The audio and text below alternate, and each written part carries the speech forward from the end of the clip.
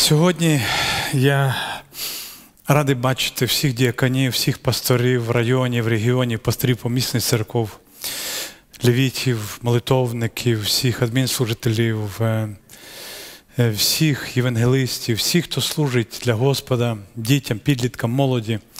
Я дякую вам за це служіння. Ви знаєте, я скажу вам, що моя щоденна молитва не просто благослови служителів. Я кожен день перераховую перед Господом всіх служителів різних рівнів. Я молюся окремо за е, ці служіння і е, стараюся. Мені здається, що е, ніколи не пропускаю ні одного дня. І це в моєму серці. Я скажу вам, якщо це в моєму серці, то я вірю, що ви в Божому серці. Ви ще більше в Божому серці. І Бог за вас. Е, знаєте, те, що ви робите, це такі маленькі цеглинки, які робляться, робляться по чуть-чуть. Колись будувався цей храм, і деякі люди були в церкві, вони е, не вірили, що храм може побудуватися, що він може бути е, ну, побудований. І тому. Е, коли вже він став будуватися, то ті люди, які прийшли вже в храм, е, вони не бачили того початку, який був. Будується великий зал. Здається, такі ну, стіни голі нічого немає, але е, я вірю в те, що він побудується і прийде нове покоління, і буде думати, що він завжди був. Буде думати, що нам його було так легко зробити. Буде думати, що це так було добре. Так само ваше служіння. Знаєте, ваше служіння е, багатьох сьогодні, деякана, пастора, е, сьогодні це потужні служіння. І багато людей думають, що так легко це все було зробити. Я думаю, що Бог е, бачить що це було сльозами, що це було непросто, що це було нелегко. І тому хай Бог благословить і дасть вам мудрості, і хай Бог благословить, щоб ви знали, ваше служіння дуже важливе перед Господом, дуже важливе перед Господом.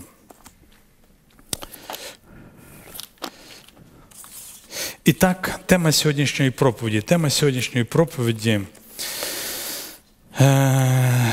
Успішне служіння, успішне служіння. Сьогодні про головне в будь-якому служінні, про фундаментальні основи служінь і церков. Сьогодні про фундамент, про саме головне будь-якого служіння. Тема місяця сьогодні це служіння. І ми з вами подивимось, ну а що лежить в фундаменті? Знаєте, коли ми будували, будуємо цей великий зал, то в фундаменті великого залу закладено 143 сваї е, глибиною 12 метрів і діаметром десь приблизно 40-50 сантиметрів. І плюс тони, тони, тони арматури. Тобто, це, що видно зверху, то у разів може 10 е, більше в землі. У разів 10 більше в землі.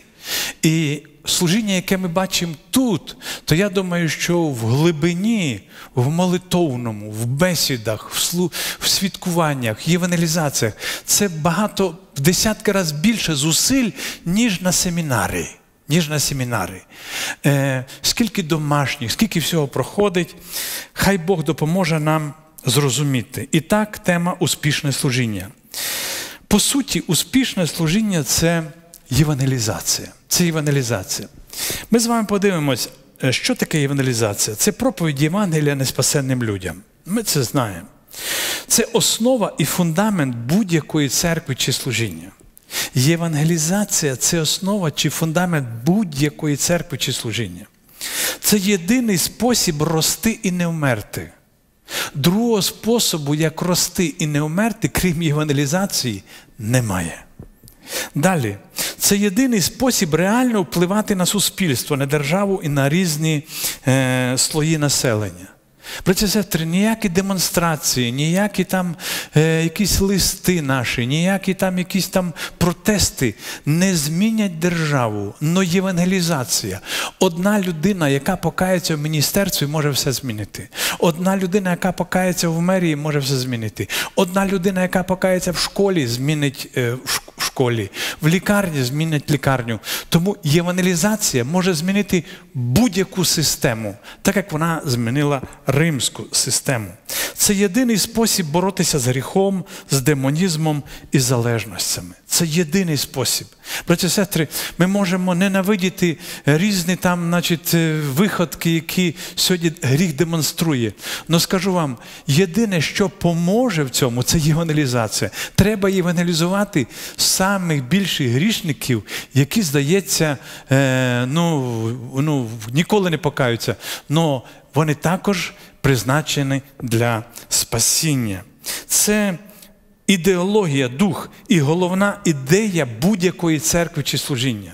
Якщо запитають, яка головна ідея домашньої церкви, чи району, чи левіцького служіння, чи молитовного, головна ідея спасіння людей. Служіння без євангелізації вони не потрібні. Я ще раз хочу сказати. Тому будь-яке служіння, воно е, повинно бути засновано на євангелізації. Якщо не буде євангелізації, воно вимре. І я скажу вам, ні одне служіння в церкві, яке не несе Євангелія, воно нам не потрібне. І воно не потрібне ні Богу, воно не потрібне нікому. Тому хай Бог нам дасть мудрості. Ми з вами сьогодні подивимося про, е, ну скажімо так, не про те, як євангелізувати. Як євангелізувати, ми проводимо семінари, ми знаємо, ми про це все знаємо. Ми проговоримо з вами про основу, про фундаментальні істини євангелізації. Ми поговоримо про те, що, можливо, ніколи і не говорили, що, можливо, і ніколи не говорили. І так, три види євангелізації. Сьогодні ми з вами подивимося про три види євангелізації. Перший вид євангелізації ми читаємо в Луки 14, він називається Анахказо. Анахказо.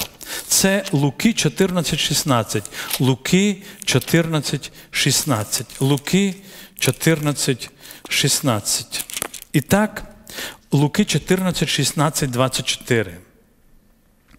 14, 16, 24. Він же сказав йому: один чоловік справляв велику гостину і запросив багатьох, і послав свого раба в час гостини, щоби сказав, щоби е, е, гостини, що сказав запрошеним: Ідіть, бо вже все готове. І враз усі почали відмовлятися. Перший сказав йому: Поле купив я, потрібно мені піти побачити його. Благаю тебе, вважай мене за виправданого.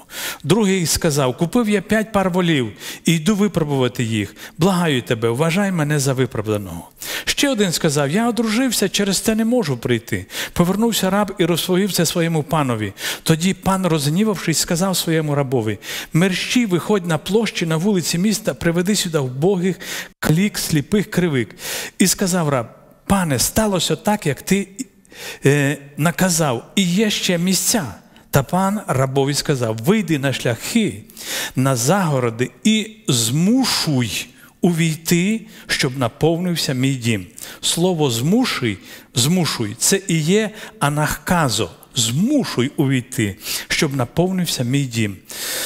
Тому кажу вам, жодний з цих раніше запрошених мужів не скуштує моєї вечері. Багато покликаних, але мало вибраних.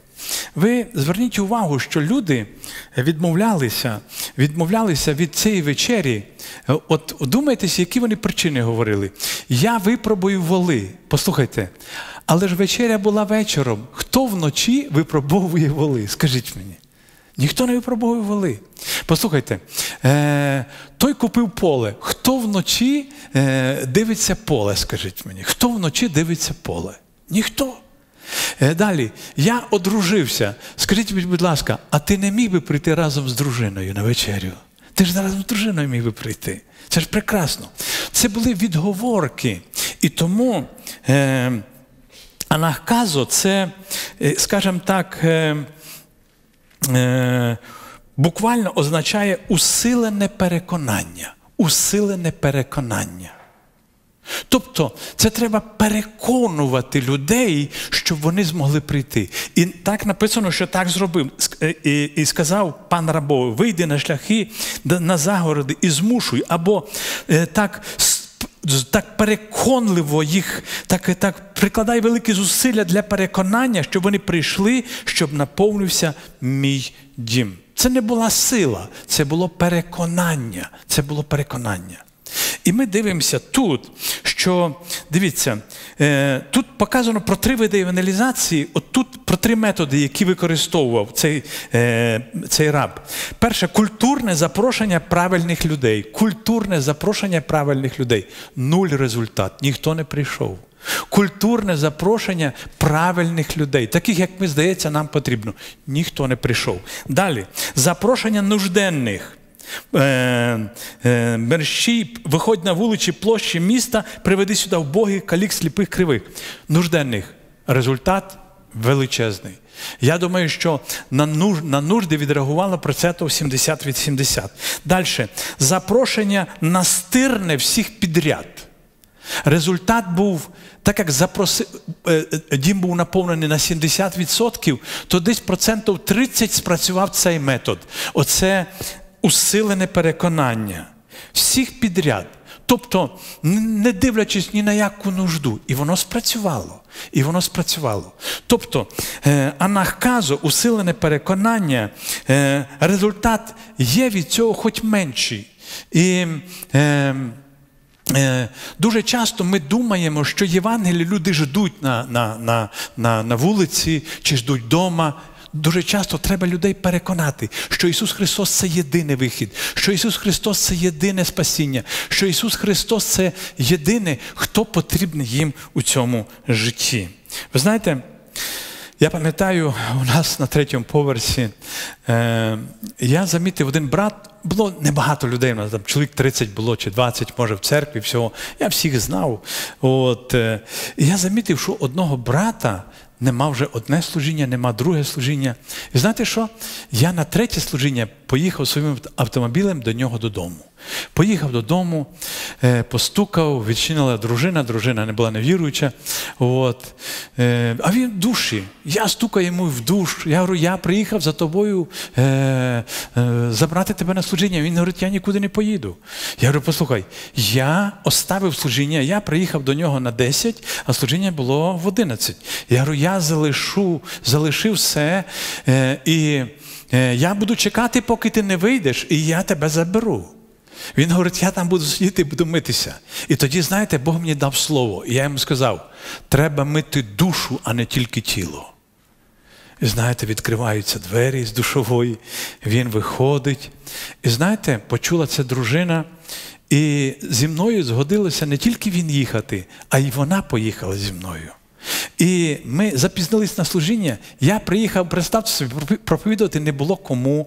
Група прославлення співала, закінчувала останню пісню, і я приїхав. І я приїхав, і знаєте, і вона покаялась на служінні. Покаялась дружина. Цей брат став ходити на служіння.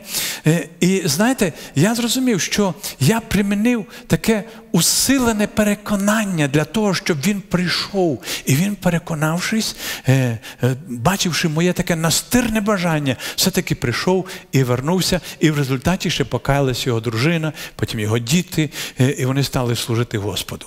Тому це важливий метод. Ми повинні розуміти, що Євангеліє це не завжди прогулка, е, так як я зазначив. Е, Культурних людей культурним методом не завжди це працює. Дуже часто ці культурні люди культурно нам всі відмовлять, і воно не спрацює. Воно не спрацює. Я хотів би, щоб ми зрозуміли, що сьогоднішня реклама, яка є сьогоднішній у світі, от сьогодні по інтернету, чи по телебаченню, чи по радіо, чи на бікбордах, чи ще де-небудь, реклама, по суті, це є переконливе, е, це є таке усилене переконання нас. Нас постійно говорять, оці таблетки нам поможуть. І довбають нам до тих пір, поки ми не почнемо купувати їх в аптеці. Нам довбуть про те, що ось цей пральний порошок, тільки він єдиний, він може випрати нашу е, цю от, потерту клубніку на нашій е, е, футболці. Хоч я думаю, що ніхто з вас її на свою футболку не мазав, правда чи ні? Такого ніколи в вашому житті не було. Но ми переконані переконуємося, в кінці кінці починаємо це купувати.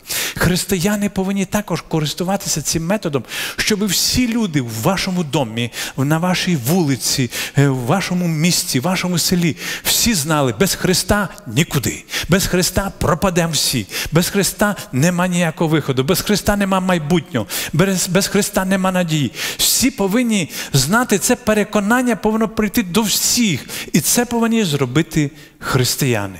Це повинні зробити християни. Це є перша основа або глибина євангелізації. Глибина євангелізації. Друге. Друге слово Матфія 11.12. Матфія 11.12. Е, ми читаємо, це друге слово називається грецьке віазо. Віазо. І так, перше, це було усилене переконання. Ми читаємо про віазо. Матфія 11.12. Від днів Івана Хрестителя дотепер Царство Небесне здобувається силою. Так от здобувається силою, перекладається як віазо або велике зусилля. Велике зусилля. Велике зусилля. І ті, хто застосовує силу, здобувають його. Перш за все, я хочу сказати, що тут сказано не про фізичну силу, не про зброю, як колись розуміли це в середньовічні часи, що християнство треба насаджувати зброю. Тут сказано про силу, яку використовує борець на тренуваннях. Коли борець чи, наприклад, спортсмен для того, щоб зробити якийсь забіг, чи зробити підняти штангу, чи кинути там е, коп'йо, чи кинути якесь там ядро, він дуже сильно тренується. Так, оце, оце таке над, надмірне тренування, і це є віазо. Надмірне тренування. Тобто Біблія показує, що нам потрібно в євангелізації е, дуже часто приміняти ну, надмірні зусилля, дуже важкі зусилля. Я думаю, що, мабуть, не тільки я е, могли б розказати тут, скільки треба зусиль примінити для того, щоб покаявся наркоман. Скільки зусиль? Його треба і лякати, його часом треба за двері виставляти, його треба дуже часто не давати йому їсти, дуже часто треба залишати його, е, ховати від нього речі, щоб він нічого не хватив, ховати гроші від нього. Слухайте, це треба стільки надмірних зусиль. Ну тут зусилля не до людини. От я хочу, щоб ми зрозуміли це відкриття. Тут сказано надмірне зусилля не до людини проявляти, а до себе. Скільки ми повинні проявити зусилля не до людини сили, а до себе. І дуже часто ми проявляємо ці зусилля і.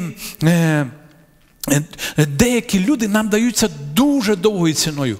Е, скільки треба на молитві простояти, скільки треба раз сказати, скільки треба. Е, я пам'ятаю, що ми е, раніше практикували, коли ми робили іваналізації, наприклад, там на, на нивках чи там в парку, ми наймали автобуси. І коли наймеш автобус, і коли зробиш, заплатиш за нього, і потім покличеш людей, оці надмірні зусилля з твоєї сторони приносять результат. Тому надмірне зусилля приносить результат. Візьміть, е, наш, на, ну, у нас є два наркоцентри, е, і плюс по об'єднанню ще є амбулаторних багато центрів. Послухайте, це величезне зусилля. Я скажу вам так, що люди, ну, ну. Ем, проявляють там такі бесіди, там такі. Я колись розказував вам, що е, ну, туди попадають люди, які ну, ну, ну, зовсім далекі від від того способу мислення, як ми думаємо. Як я колись вже говорив з кафедри, що один чоловік приїхав в наш реп-центр і приймав душ і постійно кричав. От. І коли вже до нього спитали, чого ти кричиш, він говорить, що вода постійно гаряча. Він не знав, що кран регулюється гаряча і холодна вода. Він ніколи не бачив крану.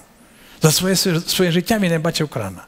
Він думав, а хтось настроював, він крутнув його вліво. І гарячий кипяток вода лялася, і він думав, що в репцентрі треба митися кипятком, що це так він отримає визволення і спасіння. І тому він кричав і мився кипятком.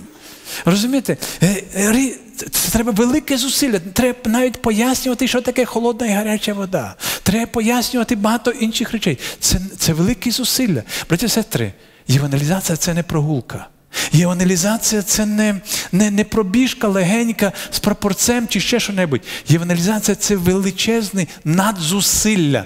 І написано, і ті, хто употребляють усілля, тобто ті, хто хто приміняють силу, хто хто тренуються, хто, хто багато роблять для цього, вони і будуть мати. Перемогу у своєму житті. Це, як я сказав, не застосування зброї чи фізичного примусу. Це зусилля з нашої сторони. Це тренування як спортсмена-борця, як я вже зазначив.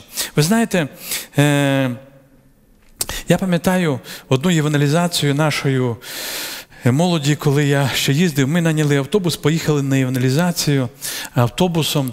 І знаєте, назначили, назначили ювеналізацію, там була невеличка церква, чоловік, може, 10-15.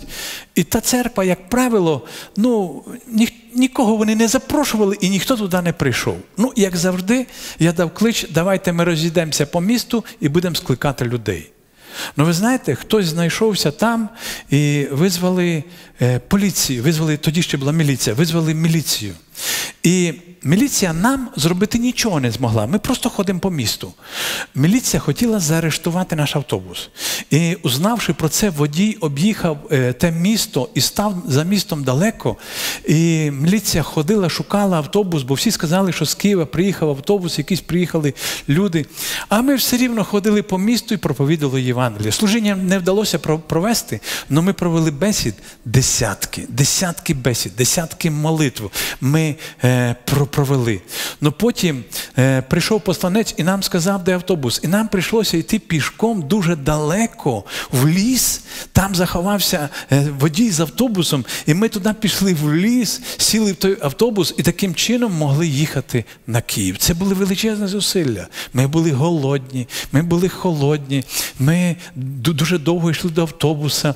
Ми цілий день ходили, е, е, проповідували Євангелії. Це величезне зусилля. І знаєте, реально так на наш подив, на наш подив, ем, здається, ніхто не покаявся так конкретно або не прийшов в церкву чи не прийняв хрещення. Ну я скажу вам так, що сьогодні я спеціально передивлявся і провірив ту церкву. Сьогодні в цій церкві декілька сотень людей.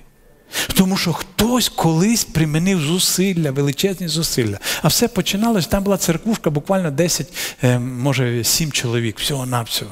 Тому дуже важливо, щоб ми розуміли наші зусилля. Бог бачить, Бог знає наші зусилля, і Бог е, благословить нас.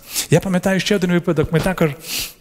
Е, чому на автобусі у нас буде один брат працював у парку, і він виписував на себе автобус. І ось один раз ми поїхали також автобусом аж десь в, на єваналізацію в Білорусію. Це була зима, десь 20 градусів морозу. І знаєте, ми виїхали з Києва, і пічка поламалася. І в автобусі стало дути 20 градусів морозу. От що робити? Як ви думаєте? Е, е, ста, ну, е, Я скажу вам так, що в автобусі стало холодніше, як на вулиці. Просто дує мінус 20 градусів. І знаєте, ми прийняли рішення, ми будемо е, в автобусі цілий автобус танцювати, ми будемо тупати ногами, ми будемо ходити як тільки можна. І ми їхали десь 8 годин. Вісім годин в мороз ми їхали на євангелізацію. Браті сестри, ви знаєте, коли ми приїхали, там зібралось повний зал людей, більшість з них невіруючі. Ми провели простеньке служіння, простеньке служіння, е, і е, покаялося дуже багато людей. Як ви думаєте, ми сіли в автобус назад, пічка запрацювала і стала нормально працювати. І ми їхали назад вже в теплі. І я скажу вам так: ніхто не простудився ніхто не захворів. Е, хоч їхали в такий холод 8 годин. 8 годин. І Це були надзусилля, які ми примінили. Це були зусилля цього борця, цих е, е, спортсменів, які які тренуються і в холод, і в жару, і всі всі е, погодні умови. І тому це слово. Віазо це таке, таке, скажімо, як я вже зазначив, велике зусилля, яке часто треба приміняти. І так, перше, це було е, анахказо, це було велике переконання або переконання, отаке сильне переконання. Часом треба переконувати сильно, а часом треба зусилля прикладати. Треба кудись поїхати, треба когось забрати, треба е, над кимось, е, можливо, попрацювати, за когось треба, можливо, заплатити, можливо, треба в репцентр положити. І знаєте, як той добрий самарянин, положити в репцентр. Ну, послухайте. Часто люди не розуміють, ну я вам скажу один секрет, нікому не кажіть. В репцентрі хліб, борщ, котлета і суп сам по собі не появиться, їх треба десь купити. Представляєте? Їх треба десь купити.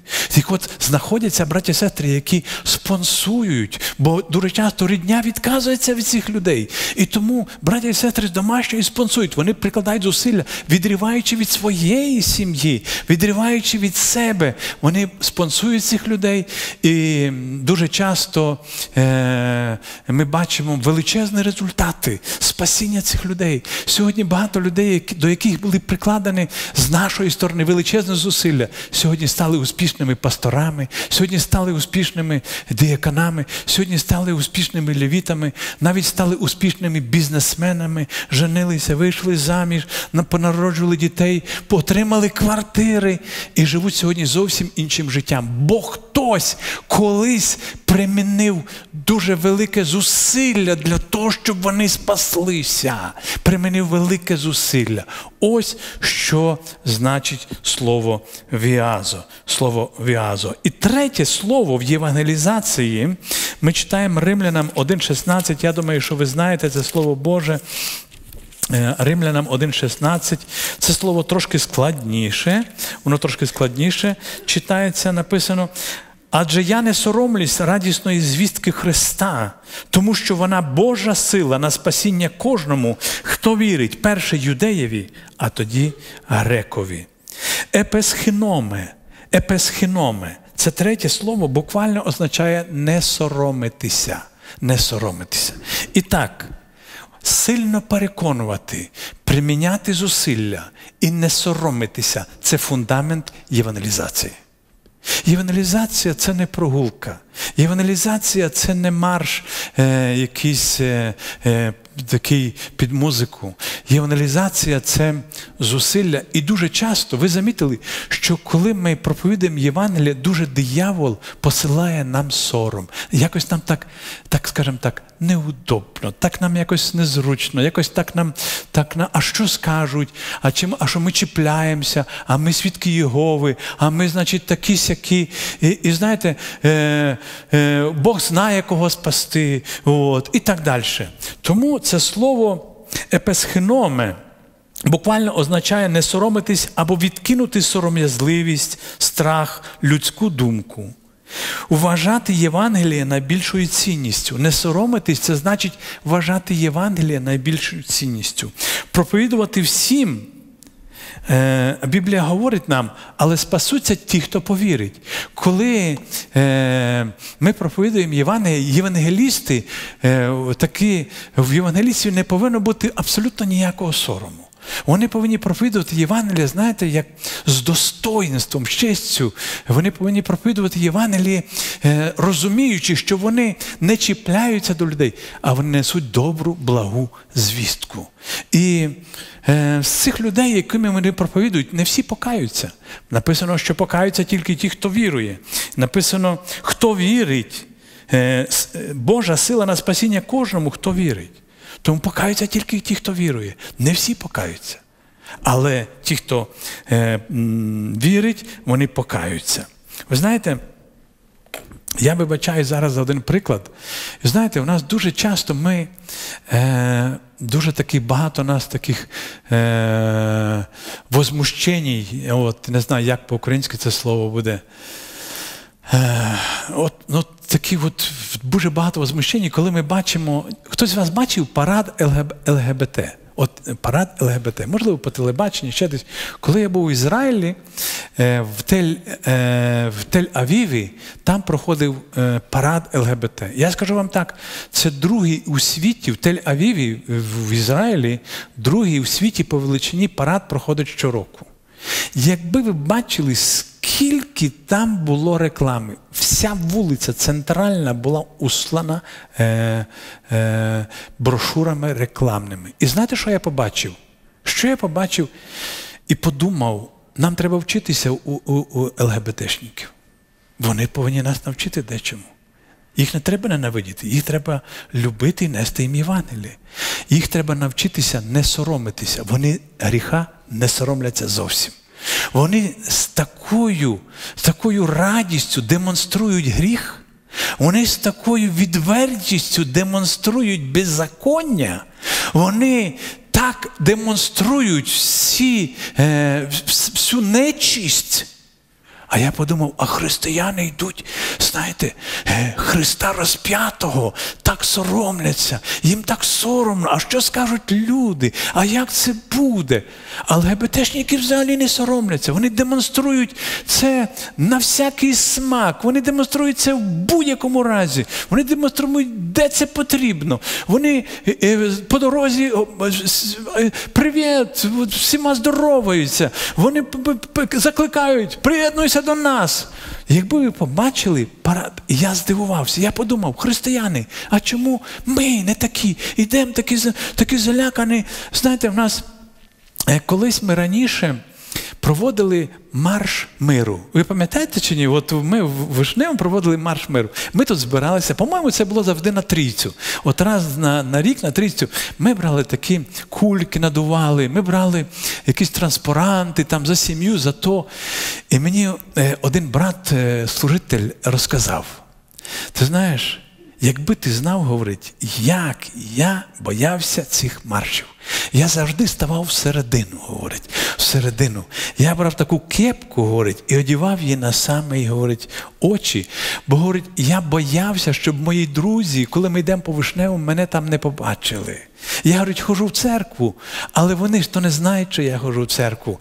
І я так боявся, щоб вони, говорять, мене не побачили, щоб я. І знаєте, я подивився на. Я завжди йшов попереду, і дуже любив я йти, е, пройтися тако збоку, понад всією колоною, знову обігнати колону, знову пройтись. Я дуже любив так подивитися на реакцію людей. І дуже багато християн йшли з радістю. Але були такі люди, які йшли і так, знаєте, голову вгнули, от так шарика держали і так боялися. ЛГБТшники так не ходять на параді. Вони йдуть зовсім по-другому. Нам треба від них вчитися.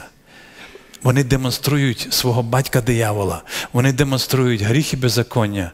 Хіба нам соромитися нашого Спасителя Ісуса Христа, який віддав за нас життя? Ми не рекламуємо гріха, ми не рекламуємо смерті, ми не рекламуємо беззаконня. Ми рекламуємо вічне життя. Алілуя! Ми рекламуємо прощення гріхів. Ми рекламуємо зцілення в Ісусі Христі. Ми рекламуємо е, сімейне благословіння в Ісусі Христі. Ми рекламуємо добро у Господі і благословіння. І хіба нам цього соромитися? Е, я пам'ятаю одну е, таку впливову людину, я е, її аналізував і е, бесідував, вона працювала в високих кругах, в е, е, міністерствах. І я з нею говорив і запросив на служення, я говорю, слухай, ну тобі ж потрібний Господь, подивися на своє життя. Те, що ти маєш високу посаду, те, що ти маєш високу зарплату, те, що ти маєш там багато іншого, ну в тебе в житті ж нічого не складається, ти ж нещасна людина. І вона мені говорить: ти знаєш, я прийшла б, але чи є там люди такого рівня, як я? А якщо знають у мене на роботі, мене не звільнять з роботи. І я подумав, люди соромляться.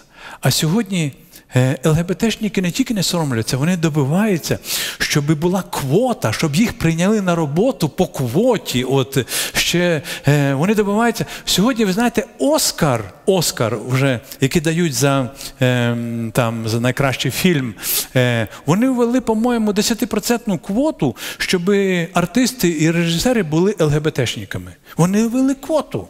Цього добилися ці люди. Сестри, а чому не добилися християни, щоб там було 10% християнських фільмів на Оскара? Ми боїмося. А що скажуть? А а які в нас фільми? А які в нас артисти? А які в нас е, кіноактори? Ми боїмося цих речей. Сестри, так от це слово.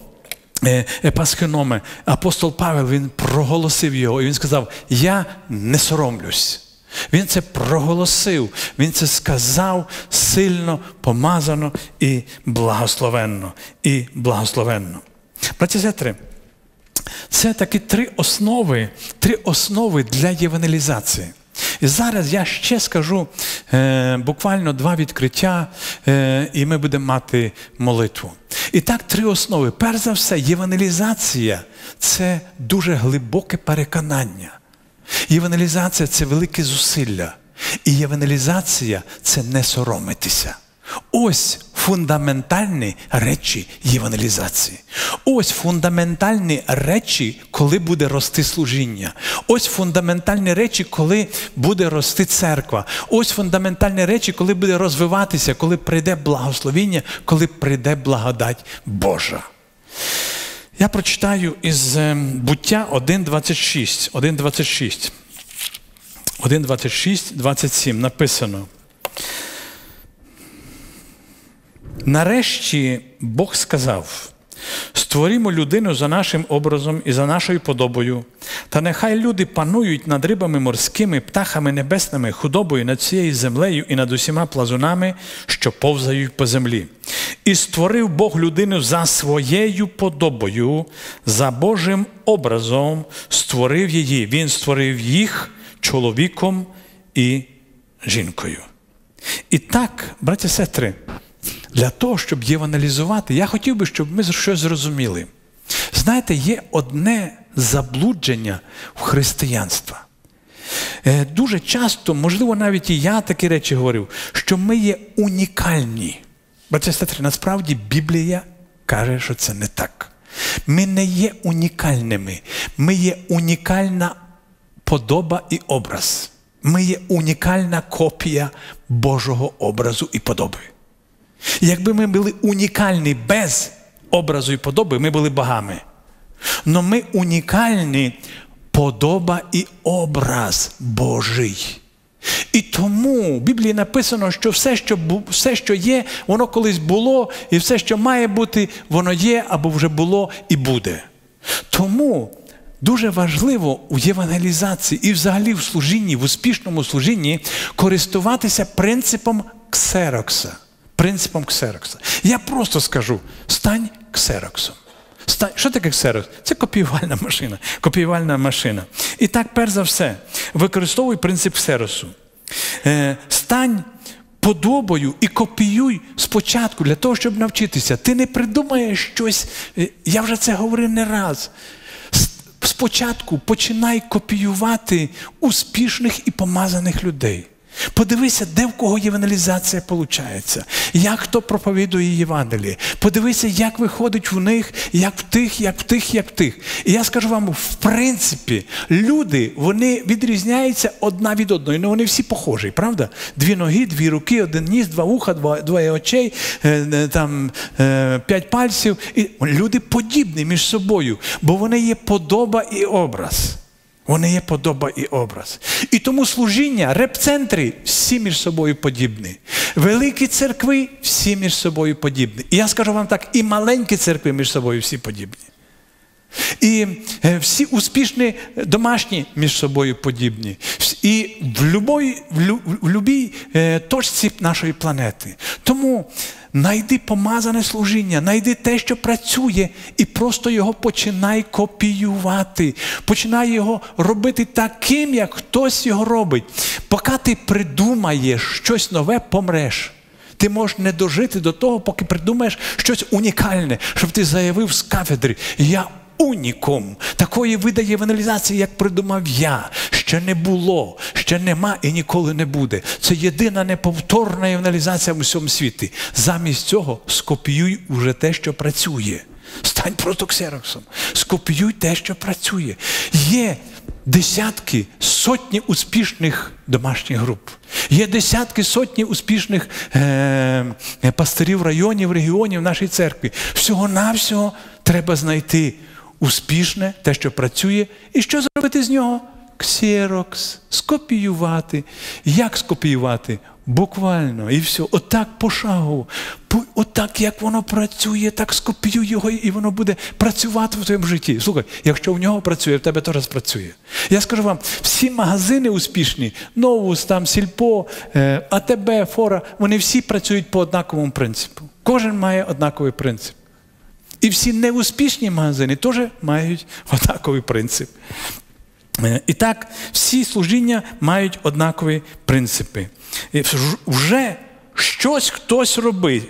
Хтось щось знає, ти не перший, не, і не я перший. Послухайте, наша церква, коли от ми збираємося на GKPN, і в цьому році у нас буде зустріч, ем, по-моєму, в серпні, да, пастор Миколаїв? В серпні. Е, чи в у вересні, мала бути вересні.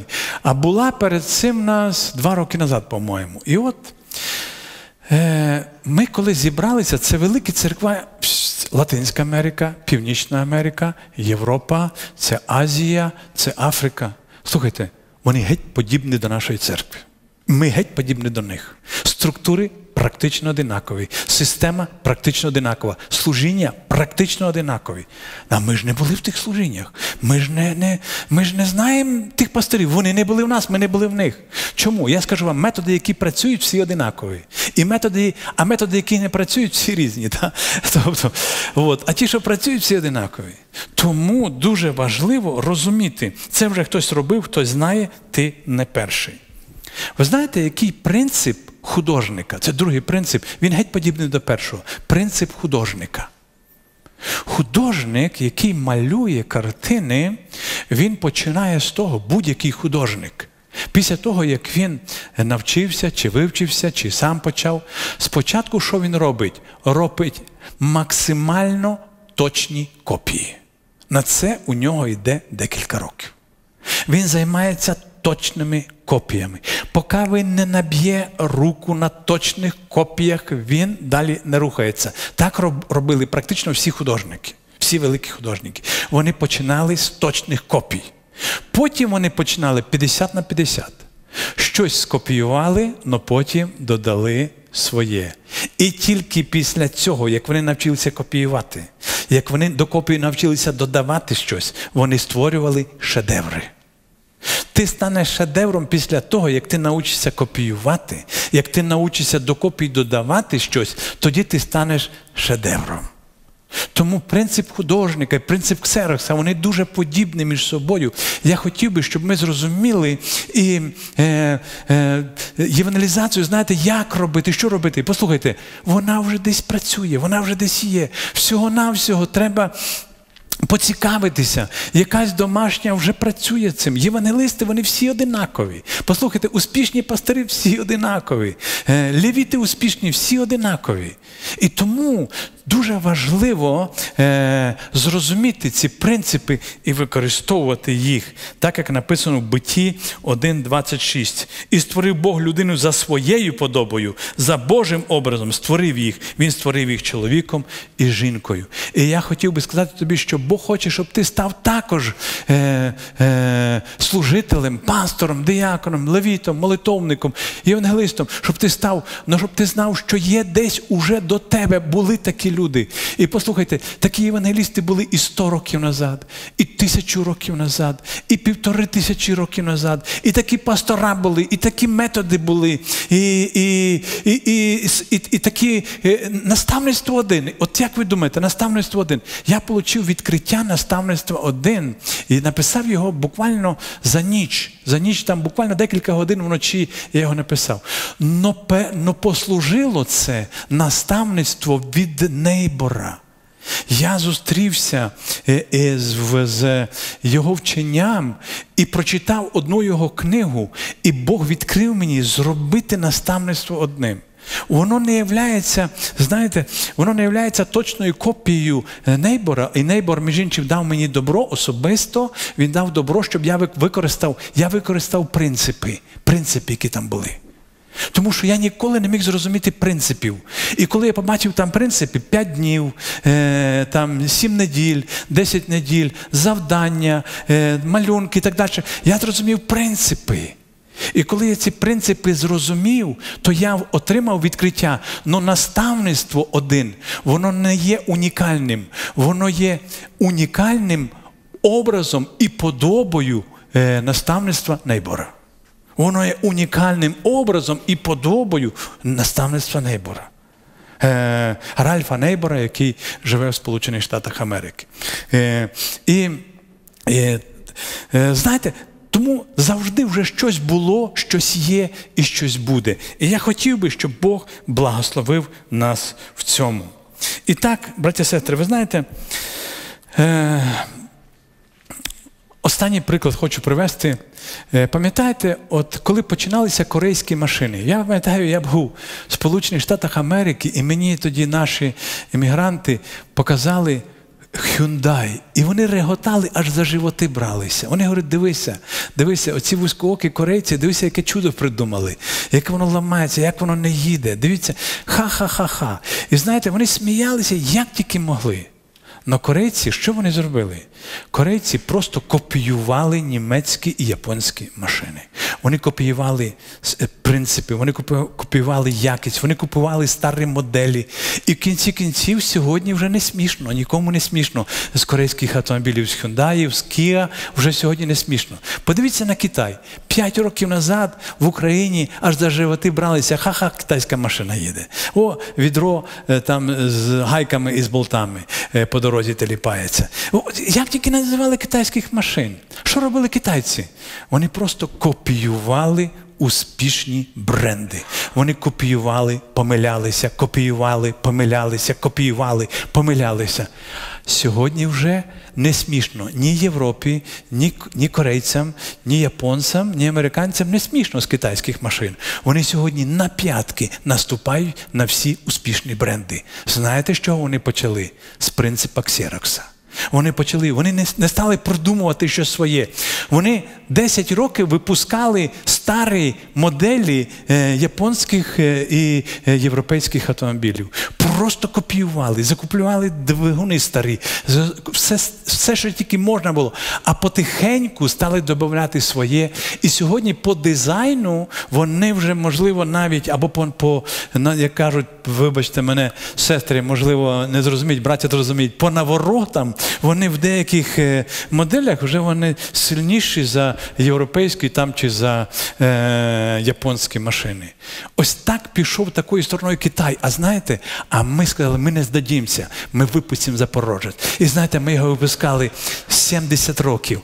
70 років. Значить, за 368, потім, а на тобі 380, 368 М, о, 368 МУ. І знаєте, і ми так і скажемо, потім тридцятка, сороковка. Знаєте, е, воно ні на що не похоже, і скажу вам так чесно, нікому не потрібне. Отак ми виставили Е, в парку для дітей, діти вже там по ньому гарцують. Воно нікому не потрібне, воно ні на кого не похоже. Да, це єдиний у світі автомобіль унікум. Це це, це, не, це неповторний єдиний автомобіль. Горбатий це була копія італіянської машини. Горбатий скопіювали. А от 30-ку сороковку створили, знаєте, єдиною неповторною в світі. Знаєте, от. І, і хто їхав нею зимою, хто їхав зимою в цьому автомобілі, де печка не працює, то, то я думаю, що я їхав. І знаєте, водій їхав, а я виглядував всього і тер е, скло, щоб той міг їхати, бо печка не працювала, і плюс ми економили бензин. От його не було. От вам унікум. А хіба не простіше було скопіювати? Хіба не простіше було скопіювати, е, наприклад, старий Опель, старий Форд чи ще що-небудь? Хіба не простіше було б? Хіба не краще було б старий Форд, чим новий Запорожець? Скажіть, будь ласка, хіба не краще було б? Але ми пішли своїм неповторним шляхом.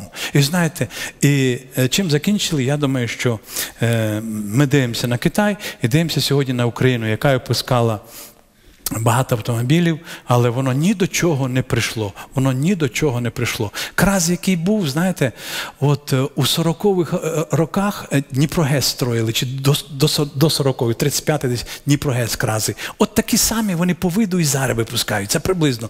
Чуть-чуть фари поміняні і зеркала, а все майже одне те саме. Ну, не буде воно таким неповторним. Вже пора вже копіювати щось краще.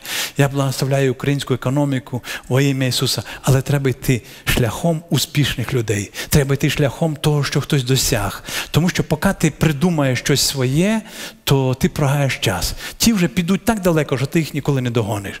Тому я впевнений, я вже закінчую, буду робити висновки, будемо мати молитву. Послухайте, десь.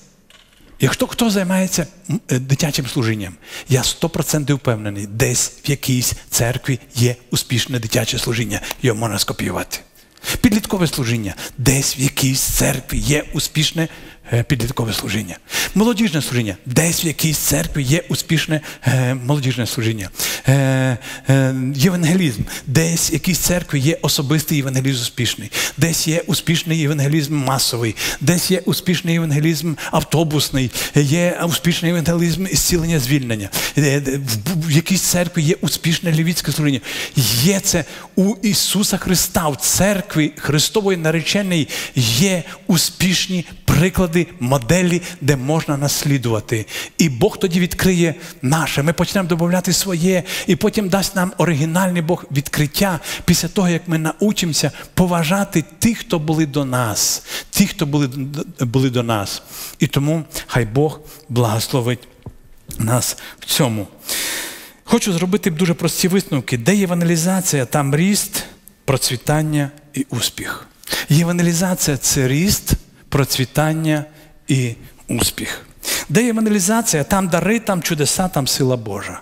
Я скажу вам так: в церкві не буде дарів, не буде сили Божої, якщо не буде євангелізації. І замітьте, що найбільше зцілень і звільнень там, де євангелізація, де приходять невіруючі люди.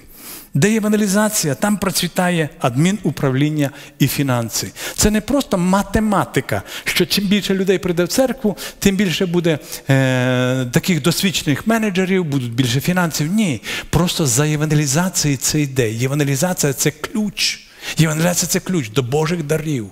Це, Євангелізація це ключ до благословіння, до успіху. Євангелізація це ключ до фінансів. Євангелізація це ключ до адмінуправління. Подивіться на апостолів. Вони всі були майже всі були е, неосвічені. А як Бог через них побудував таку потужну церкву Христову. І такі, здається, неосвічені люди, як зуміли управляти е, під кінець століття 15-мільйонною церквою. Хай Бог благословить нас і дасть нам мудрості. Євангелізація це спасіння, це радість небес.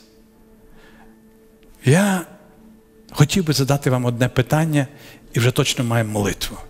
Як ви думаєте, от у нас багато нужд, правда, різних. От ви молитесь, скільки вас скільки вас нужд, коли ви молитесь вдома? Скільки нужд вас? У когось 5, у когось 10, правда? Багато різних нужд. А як ви думаєте, а в Бога є нужда? А в Бога є нужда? Одна. Одна.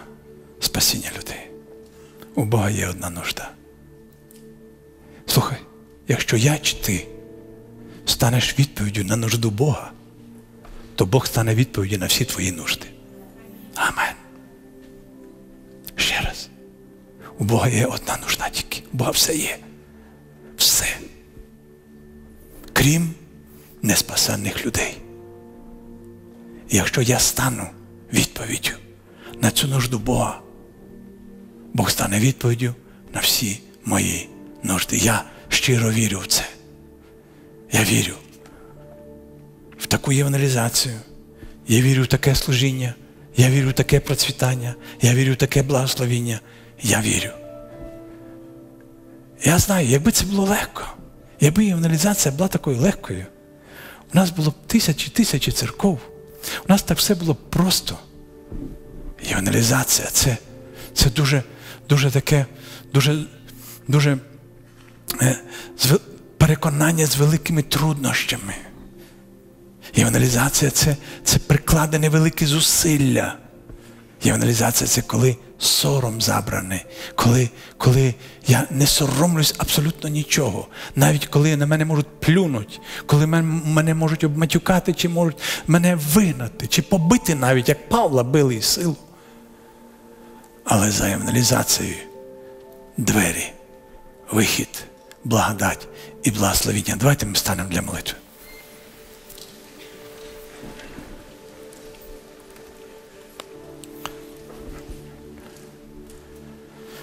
Я хотів би, щоб Господь нам е, дав зараз дух евангелізації в наше серце.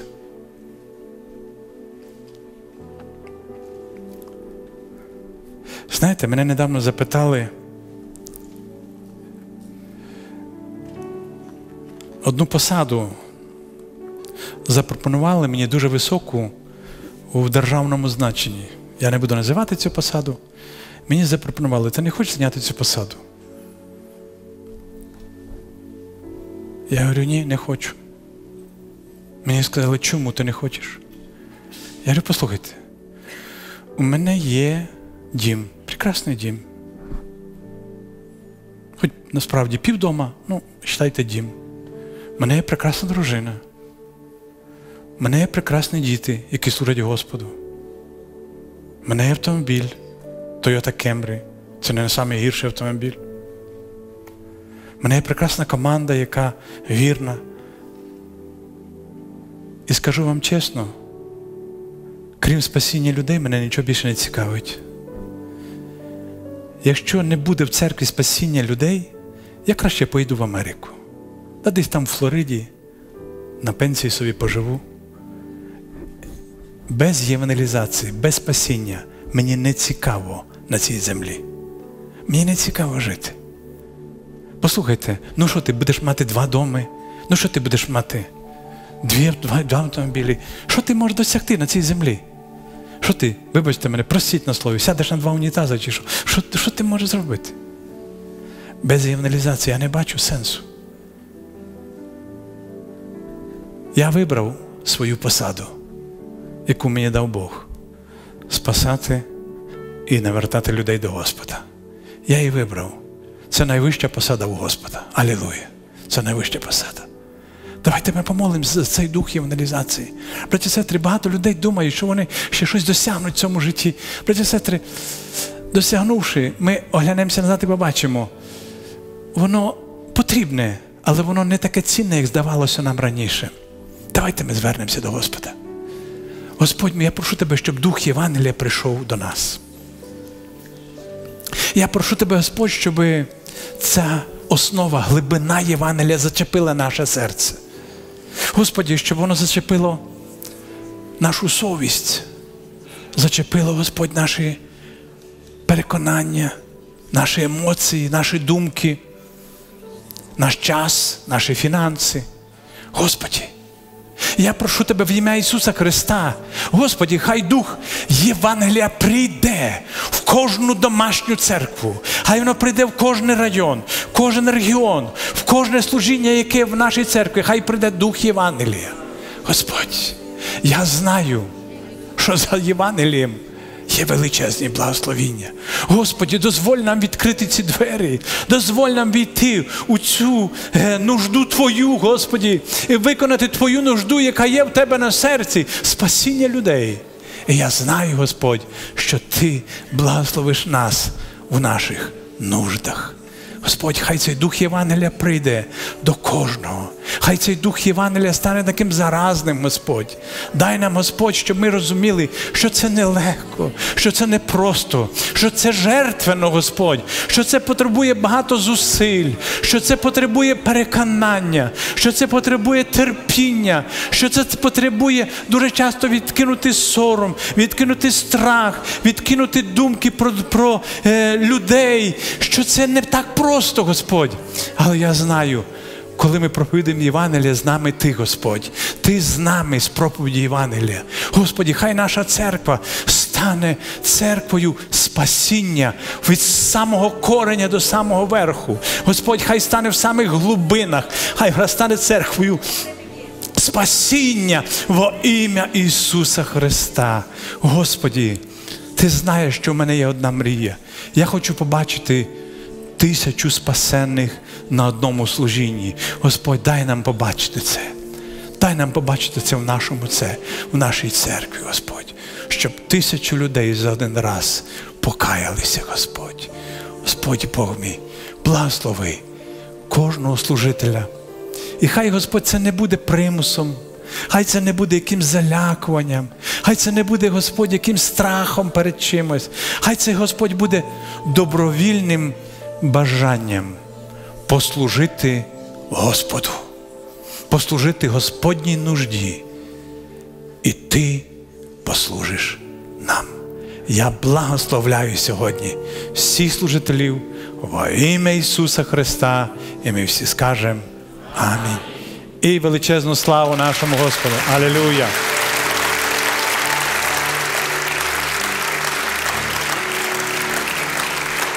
З миром Божим, браті сестри, Бог да благословить нас, е, і хай благодаті, мир, любов Господа буде з нами при виході нашому.